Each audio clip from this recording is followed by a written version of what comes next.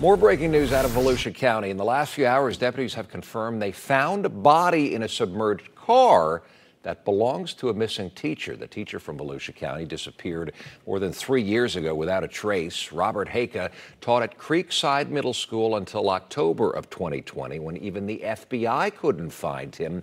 But this evening, his car turned up off State Road 44 in a swampy pond. News 6's Brian Didlake is there. Volusia County Sheriff's Office says right now their next step is to get a positive ID on the body found in Robert Heikka's vehicle. Deputies say that they wouldn't have gotten this far in their investigation without the help of volunteers. Uh, two crews of, vol of, volunteers notified Port Orange that, that they'd found a vehicle belonging, they believe belonging to the, their missing person. That vehicle belonged to Port Orange teacher Robert Heikka, who has been missing for more than two years.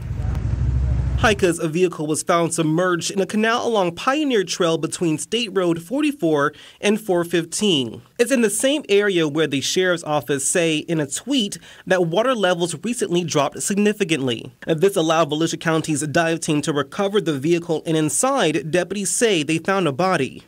Police have been in contact with, uh, with the family Heikka was last seen back in 2020 by neighbors leaving his Port Orange home. Investigators previously noting the 70 year old Creekside Middle School teacher was spotted at an ATM machine near Cocoa and Cape Canaveral shores two days before he went missing. Uh, been to a bank, to an ATM, uh, so that's why we know he's down in that area. Uh, multiple agencies from the FBI and local counties assisted in the search. Authorities using cell phone towers to ping Heikka's location. So we go through and we look at the cell phone pings, and there was his last cell phone ping. Volunteer search teams say it was that cell phone ping that helped their search efforts. Establish pattern of life, so we look at where they were, where they're going, what their normal routines are. The search team says they hope this will help Heikka's family find answers. We give the families closure, but it's answers to you know to where their loved one is, and and that's really what we're trying to uh, trying to do here.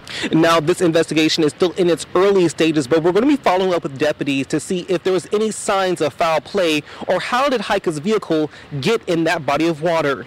We are in Volusia County. Brian Didlake getting results. News 6.